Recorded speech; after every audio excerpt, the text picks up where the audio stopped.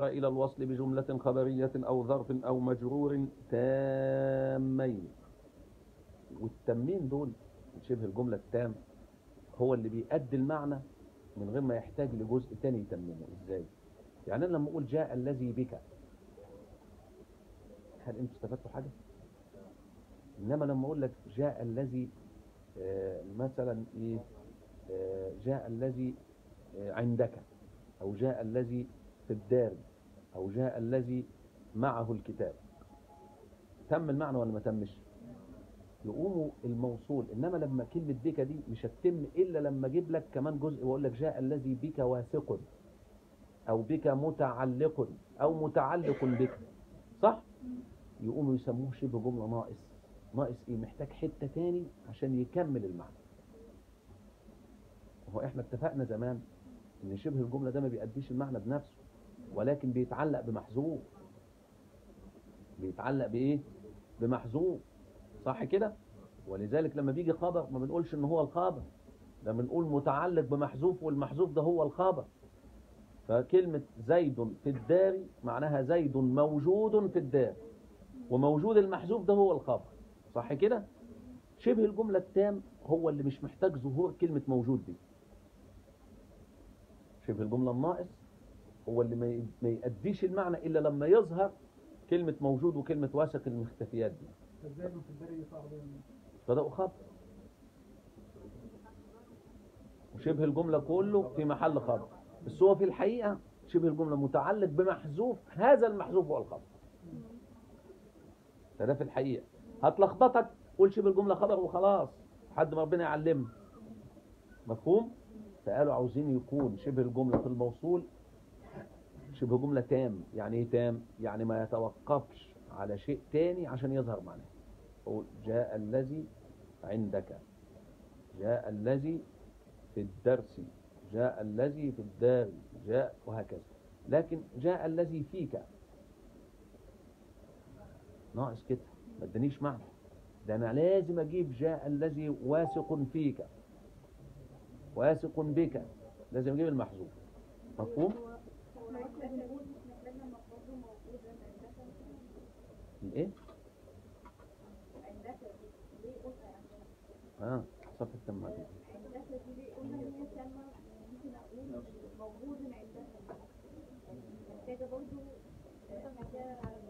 الحلقة 93 امم لا مش فاهم.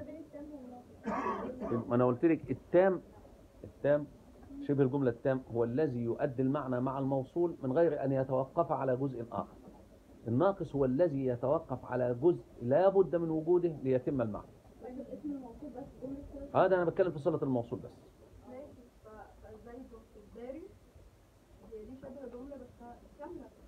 تمام ولذلك قالوا جاء الذي في الدار كامل لكن جاء الذي فيك أو بك ناقص الذي فيك يعني الدار دي ليها متعلق اللي هو محذوف الخبر؟ مظبوط. آه ده ده ده النا- حسب هي أيوه. الناقص بقى الناقص الناقص هو المضطر إلى إظهار المحذوف ده. طب والتام؟ هو اللي مش محتاج ظهور المحذوف. أدى المعنى وخلاص. لا لا ما هو سكن دي وسكن دي هي أصلا صلة الموصول. وفي الدار متعلقه بيها آه؟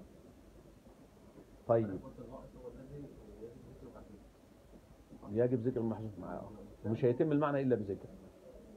قالوا كمان خلي بالكم يبقى اذا عندنا صلة الموصول دي يا جملة يا شبه جملة. يا جملة يا شبه إيه؟ جملة. وكمان يكون فيها عائد. ده إيه العائد ده بقى؟ قالوا ضمير. ضمير يربط جملة الصلة بالاسم الموصول. وإلا هيبقى إيه علاقة الموصول بالصلة؟ يعني أنا بقول لك إيه؟ جاء الذي قام زيد. جاء الذي قام زيد. جاء الذي قام غلام. إيه علاقة قام غلام بالاسم الموصول؟ أنتوا شايفين في أي ارتباط؟ عارفين ليه مفيش أي ارتباط؟ تعالوا نجيب ضمير كده ونشوف. جاء الذي قام غلامه. اتربطت ولا لا؟ أهو الضمير ده يسموه العائد. يعني إيه عائد؟ يعني يعود على الاسم الموصول. يقوم يربط الجملة بالاسم الموصول. فهمتوا ولا إيه؟ ها؟ واضح الكلام؟ تمام؟ يبقى الموصول هو المفتقر إلى جملة وإيه؟ وعاء. ويقع على المذكر والمؤنث ومثنيهما وجمعهما نحو جاء الذي للمفرد المذكر والتي للمفردة المؤنثة واللذان لمثنى المذكر واللتان للمثنى المؤنث والأولى والذين لجمع الذكور واللاتي واللائي لجمع المؤنث. والخامس المعرف بالألف واللام كالرجل. للمذكر والمرأة المؤنث والسادس المضاف إضافة محضة إلى واحد من هذه الخمسة فالمضاف إلى الضمير كغلام والمضاف إلى العلم نحو غلام زيد والمضاف إلى اسم الإشارة نحو غلام هذا والمضاف إلى الموصول الاسمي نحو غلام الذي قام والمضاف إلى المعرف بالألف واللام نحو غلام الرجل بخلاف إضافة الوصف إلى معموله كضارب زيد غدا أو الآن. فهو باق على تنكيره لأن إضافته غير محض. وأنا المرة اللي فاتت قلت لكم إن الإضافة نوعين صح كده؟ محضة وغير إيه؟ وغير محض. وقلنا الإضافة المحضة دي اللي بتفيد التعريف. إنما الإضافة غير المحضة دي لا تفيد تعريفا ولا شيء. مجرد خفة لفظ. وقلت لكم تقريبا كده بإيه؟ بتبقى إذا أضيفت النكرة النكرة إذا كان المضاف يعمل في المضاف إليه صح كده؟ وكانت ال- الثالثة إذا كان اللفظ المضاف موغلا في الإبهام. صح كده؟ قلت لكم أنا المرة اللي فاتت دي. ماشي؟ نكرة النكرة ما تدينيش حاجة. غلام سفر لا مش هيديني أي تعيين. المضاف يعمل في المضاف إليه ضارب زيد. يمكن زيد ده ملطشة والدنيا كلها بتضرب فيه وأنا عارف مين ضارب زيد. مثل هذا مثل زيد. المثل كتير لأن لفظ- لفظة مثل متوغلة في الإبهام. مفهوم؟ مم. كائن هو في الدار. ما هي كلمة في الدار دي متعلقة بمحذوف والمحذوف ده يا فعل يا ما يعمل عمل الفعل. ويجي في آخر الكتاب كده يقول إن المتعلق المحذوف لازم يكون فعل أو ما يعمل عمل الفعل في العمل. وسواء كان فعلا أو ما يعمل عمل الفعل فقد تحمل ضميرا والضمير ده يعود على الموصول مين؟ ماله؟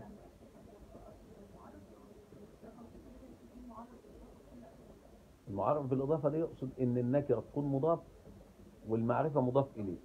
مفهوم؟ فالنكرة دي تكتسب التعريف من المعرفة.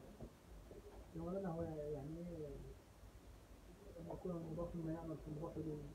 يعني يكون اسم فاعل اسم مفعول من الأسماء اللي بتعمل عمل الفعل فتضيف الوصف لمعموله ضارب زيد كاتب الملك وهكذا عرض الآن واللام اللام زي الرجل في فرق بينها والعلم العلم بيعين الاسم من غير قيد ثم ده هذا ده عين بآل يا أستاذ. عين بأداة. وهي أي المعارف بالنسبة إلى باب النعت على ثلاثة أقسام. الأول ما لا ينعت ولا ينعت به وهو الضمير. أما أنه لا ينعت فلأنه غني عن الإيضاح لكونه نصا في مسماه. وأما أنه لا ينعت به فلأنه ليس مشتقا ولا مؤولا بالمشتق. جميل؟ يبقى أول شيء المعارف الستة دي من حيث النعت أقسام. فيه ما لا يكون نعتا ولا منعوتا وده الضمير. مفهوم؟ ما بيكونش منعوت ليه؟ لأن المنعوت المقصود إظهاره والنعت نص في مسماه لا يحتاج إلى زيادة إظهار أصلا. يعني أنا أقول أنا. الضمير ده بيعود عليا. هل هناك أي خفاء يحتاج إلى إظهار تاني؟ الضمير عاد علي نصا. فالضمير أعرف المعارف ولذلك لا يحتاج إلى مزيد إظهار. عشان كده ما بينعتش أبدا لأن هوضح فيه إيه تاني؟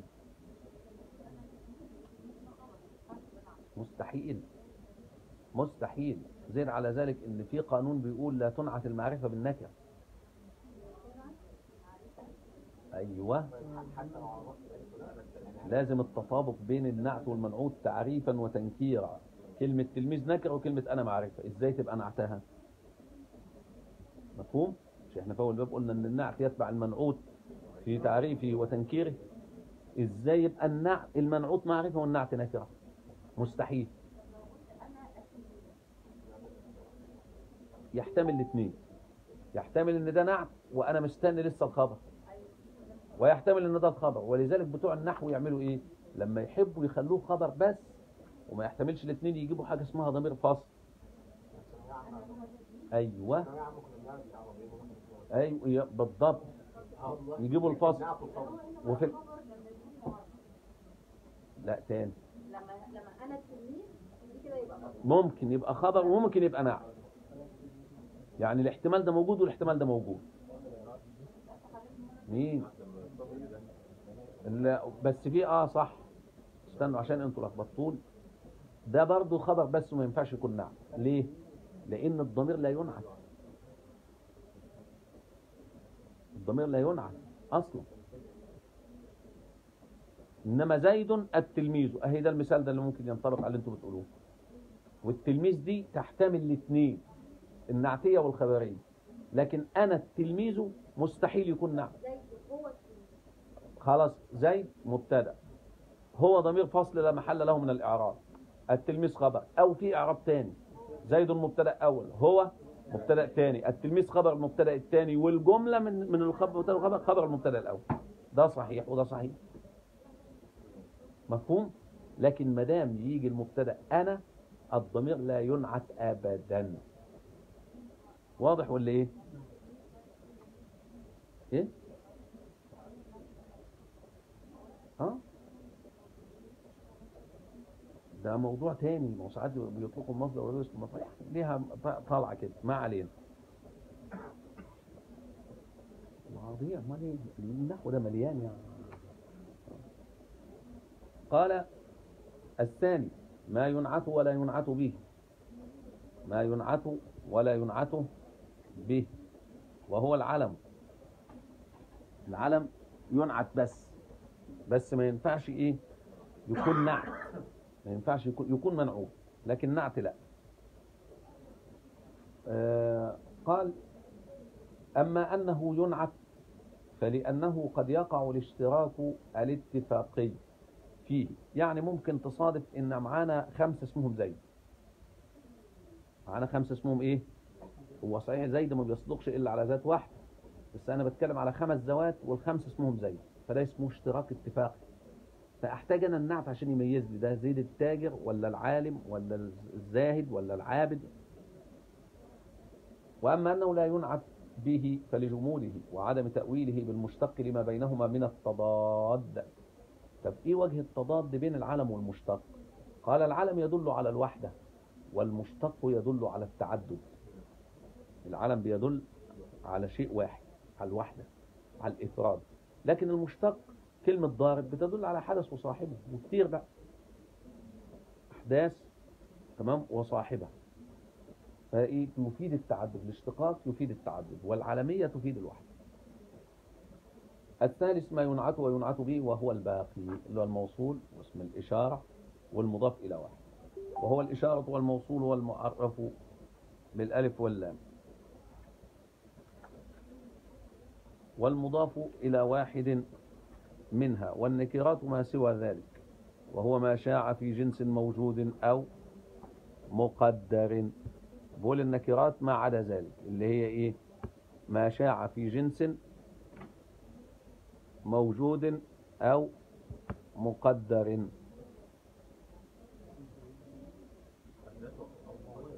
إيه؟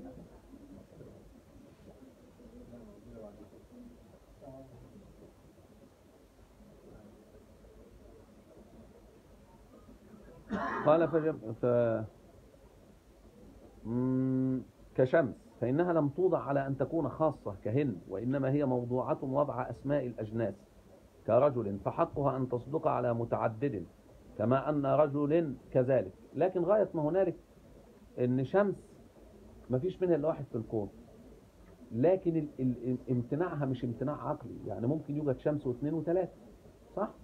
بدليل إن في كواكب دلوقتي ظهر فيها شموس متعددة وأقمار متعددة.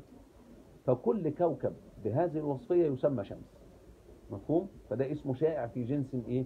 مقدر فجميع أسماء الأجناس النكرات الجامدة كرجل تنعت لإبهامها واحتياجها إلى التخصيص ولا ينعت بها لجمودها إذا لم تؤول بالمشتق. فهي كالأعلام في هذا الحكم. والعلم ينعت بما ذكر بعده من المعارف. فينعت باسم الإشارة والموصول والمعرف بالألف واللام والمضاف إلى واحد منها واسم الإشارة لا ينعت إلا بما فيه الألف واللام لأن الجنس المعرف بالألف واللام يزيل الإبهام الحاصل في اسم الإشارة لأن السامع لا يفهم منه جنس المشار إليه إذا كان بحضرة المتكلم أجناس متعددة فإذا جيء بالجنس المقرون بأل زال الإبهام. لأن أنا لما أقول هذا وأمامي أجناس متعددة مثلا أمامي رجال ونساء. فلما أقول هذا السامع أبهم عليه. أنا أقصد هذا الرجل ولا هذا الرجل ولا هذا الحارس ولا هذا الواقف ولا هذا الجالس. ما أنا عندي في أجناس متنوعة. فلما يأتي النعت يزيل هذا الإبهام. جاءني هذا هذا الرجل أو هذا الإيه الواقف أو هذا الحارس. أيوه محلى بألم. ده نعت ده نعت لاسم الإشارة. اسم الإشارة منعوت وده النعت بتاعه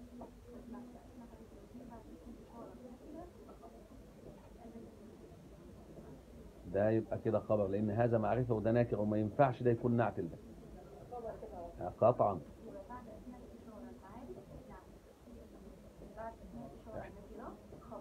بعد أسماء المعارف النكرات بعد الإشارات. النكرات خبر قطعا تمام؟ المعارف تحتمل وتحتمل. ممكن تكون بدل ممكن تكون خبر ممكن تكون نعت. على حسب موقعها بقى وحسب مقصد المتكلم.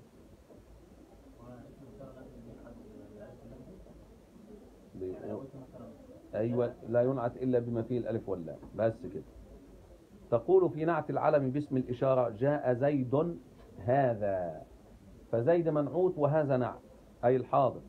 وفي نعته بالموصول الاسمي جاء زيد الذي قام أبوه أي القائم أبوه. وفي نعته بالمعرف بالألف واللام جاء زيد الحسن وجهه.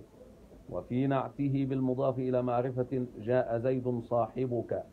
وبالإضافة بالإضافة إلى الضمير أو صاحب زيد بالإضافة إلى العلم أو صاحب هذا بالإضافة إلى اسم الإشارة أو صاحب الذي قام بالإضافة إلى الموصول أو صاحب الرجل بالإضافة إلى المعرف بالألف واللام أو صاحب غلامي بالإضافة إلى المعرف بالإضافة إلى المضمر.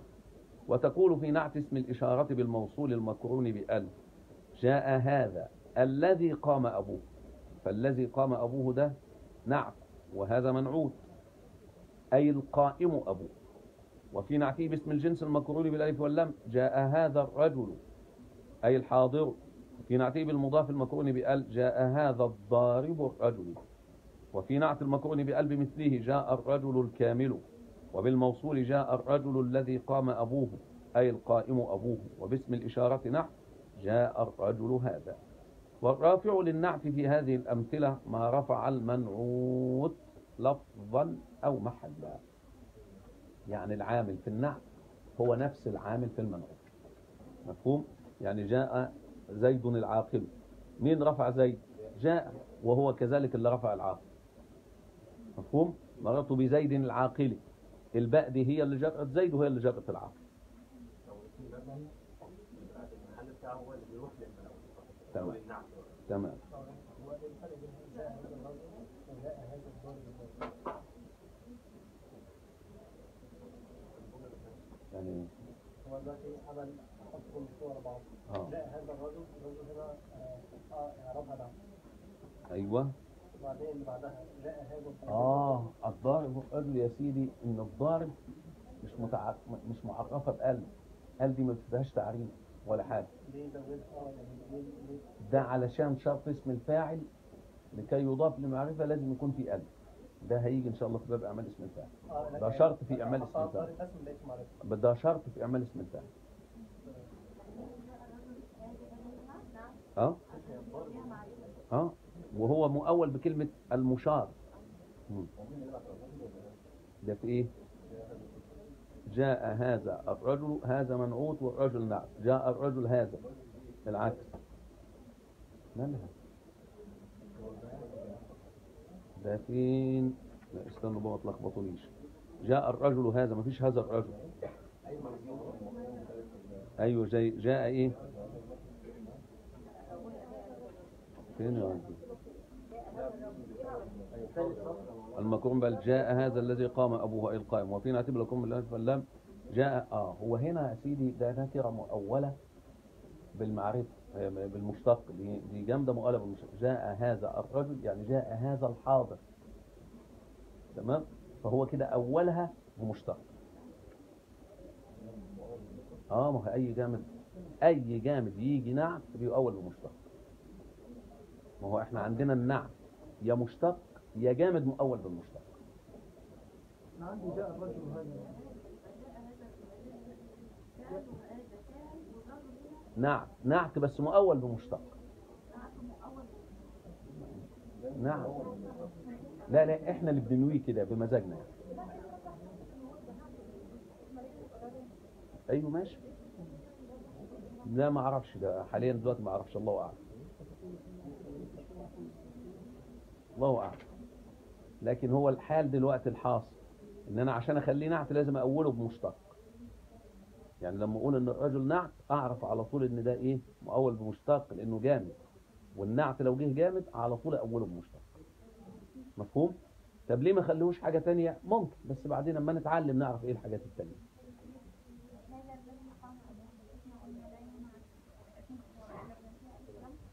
آه. ما هو الذي ده فيه ألف ولام لأن الذي قام أبوه كلها مؤولة بكلمة جاء هذا القائم. مؤولة بالقائم. الثاني من التوابع التوكيد. جميل. كده خلصنا النعت بالسلام. توكيد بقى. باب لذيذ جميل كده سهل خالص. اشرحه لكم أنا في كلمتين. إيه؟ تعبتوا. مين ده اللي صح توكيد؟ ده من أسهل باب أبواب النحو اطلاقا. آه طبعا. توكيد ده ببساطة خالص نوعين. توكيد لفظي وتوكيد معنوي. توكيد اللفظي ده سهل خالص. عيد الكلمة تاني. جاء جاء. زيد. زيد زيد. مجتهد. لا لا. أفعل كذا. بس مش أكتر من كده. تعيد اللفظة تاني. ده اسمه توكيد لفظي. خلاص؟ وده ما فيهوش صنعة يعني. وتابع للي قبله في جميع الأحوال. طيب التوكيد المعنوي قال ده بيكون بألفاظ عارفينها كده عند العرب؟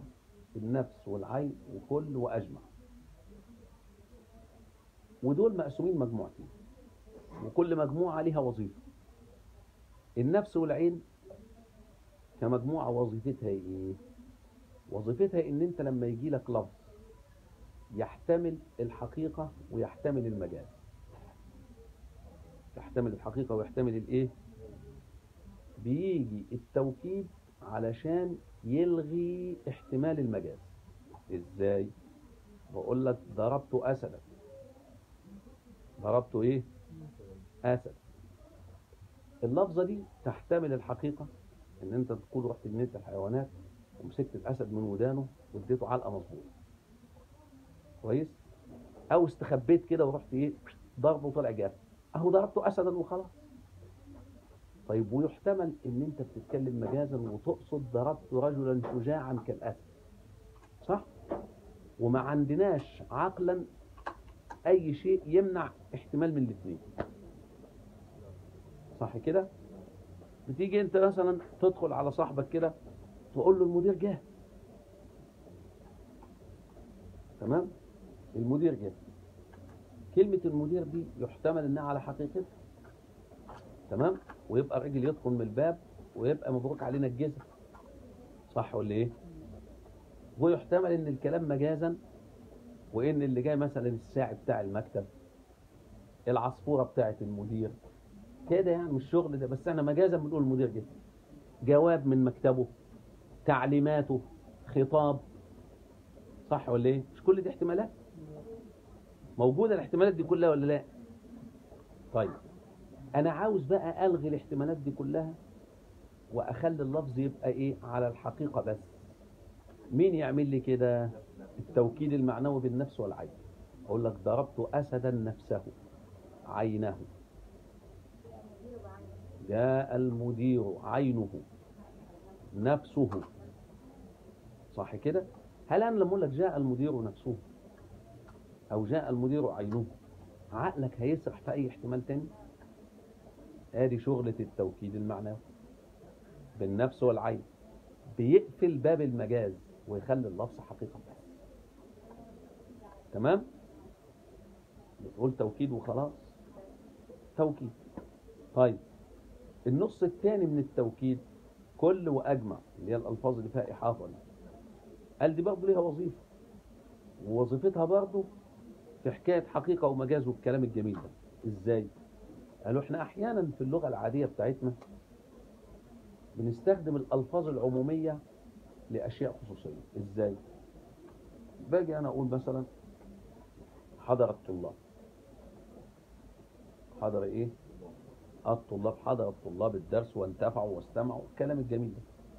كلمة الطلاب دي لفظة بتفيد العموم صح؟ طيب السؤال دلوقتي مش احتمال يكون غايب نسبة 5% ولا 10% احتمال ولا مش احتمال؟ بقى أو جميع أو بعض الأول الاحتمال ده موجود ولا مش موجود؟ صح؟ طيب أنا عاوز أمنع الاحتمال ده وأقول للناس إن فعلا أنا عديتهم مفيش منهم ولا واحد غايب بس أقول حضر الطلاب كلهم حضر الطلاب إيه؟ كلهم حضر الطلاب أجمعون هل أنا لما أقول لك كلهم وأجمعون كده يخطر على بالك إن في حد غايب؟ لا سجد الملائكة كلهم كده مفيش استثناء مفهوم؟ فده توكيد ويقولوا توكيد شغلته إيه بقى؟ ما هو توكيد معناه آه شغلته إيه؟ أن يدفع أو يلغي احتمالية التخصيص من لفظ يفيد التعميم يعني في اللي باب المجاز اللي هو إيه؟ اللي هو اسمه إطلاق الخاص العام وإرادة الخاص. حضر الجيش. جاء الجيش. رجع الجيش. ممكن يكون رجع بالسلامة وما كانش فيه حرب وممكن يكون مترب صح لكن لما أقول كلهم كده يبقى سلام كلهم متممنا عليه. مفهوم؟ الإيه؟ ما هو الضمير استنوا بس طولي بالك بيقولوا إن التوكيد اللي هو إيه؟ التوكيد المعنوي ده سواء كان بالنفس أو بالعين أو بكل اللازم يكون فيه ضمير يعود على المؤكد يطبقه تمام؟ جاء زيد نفسه الزيدان أنفسهما الزيدون أنفسهم عينه أعينهما أعينهم. رأيت القوم كلهم. تمام؟ وهذه في النفس والعين. آه مثلا آه رأيت الهندات كلهن. واخدين بالكم؟ كلهن لازم في ضمير. ولقد أريناه آياتنا كلها. إزاي آياتنا وإزاي كلها يا أخت فاطمة؟ توكيد مظبوط. إحنا قلنا التوكيد يبقى تبع المؤكد صح؟ فبقول آياتنا كلها. كان المفروض يقول آياتنا كلها.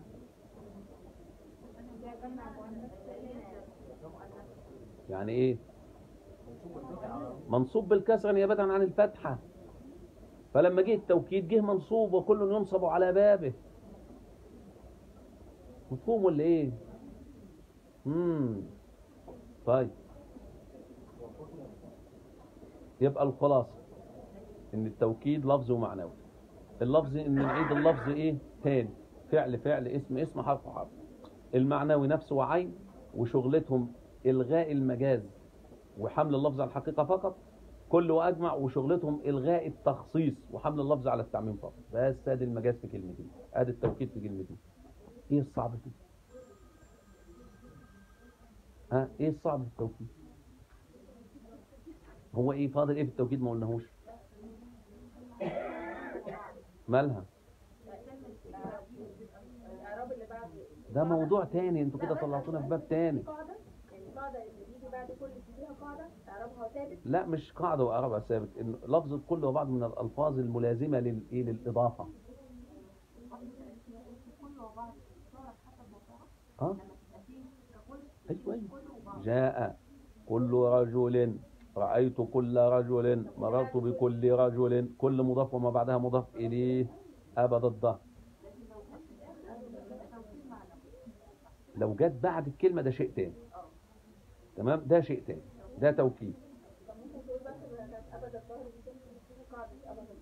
إيه أبد الظهر دي؟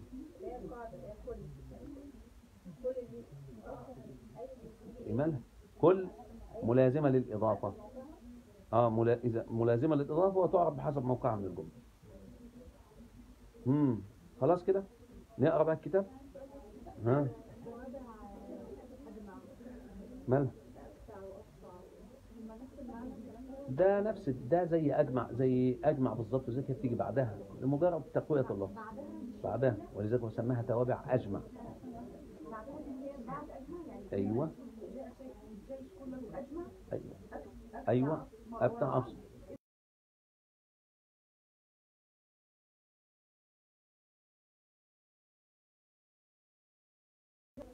ولذلك هو بيسموهم توابع أجمع. لا دي عوامل مساعدة لأجمع. بس كده. ها؟ تعبتوا يعني؟ طيب خلاص نقرأ المرة الجاية. هدوء هدوء هدوء عشان أسمع بتقول إيه؟ ها؟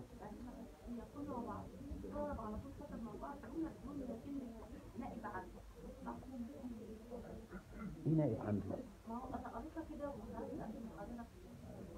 أنا قريتها ان هي كل وبعض تعرف موقعها في الجمله ولكن قبل الاعراب فيها نائب عنه يعني مثلا جاء كل الرجال جاء فعل ماضي كل نائب عن الفاعل صح ولا أقول على طول فاعل. ده فاعل واللي بعديها مضاف اليه هي دي مضاف واللي بعدها مضاف إليه خلاص.